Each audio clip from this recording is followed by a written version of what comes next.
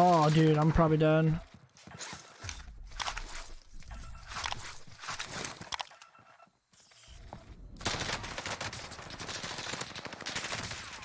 The ego challed me.